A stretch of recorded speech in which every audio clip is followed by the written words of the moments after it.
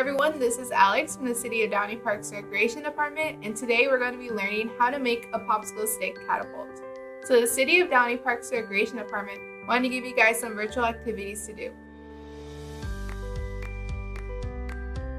Okay, so for today's activity, what you'll need is you'll need six popsicle sticks, three rubber bands, four different sized foam balls, and a plastic spoon. Okay, so your first step is you're going to take your five popsicle sticks and you're going to put them right on top of each other. Okay, and once they are on top of each other, you're going to take your last popsicle stick and you're going to put it at the very bottom of one of them. Then you're going to take your two rubber bands and you're going to rubber band this side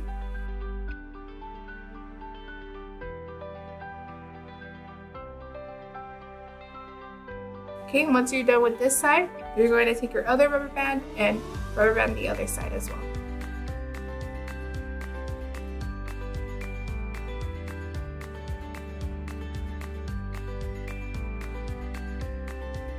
Okay, and once both rubber bands are secured on both sides, you're going to take your plastic spoon and you're going to align it with your popsicle stick and you're going to rubber band about down here.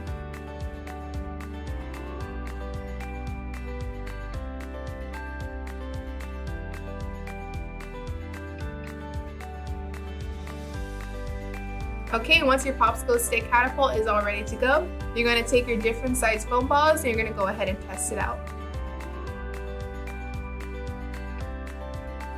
So make sure you guys take a video or a picture of this and upload it to your social media and make sure you hashtag Downey at home.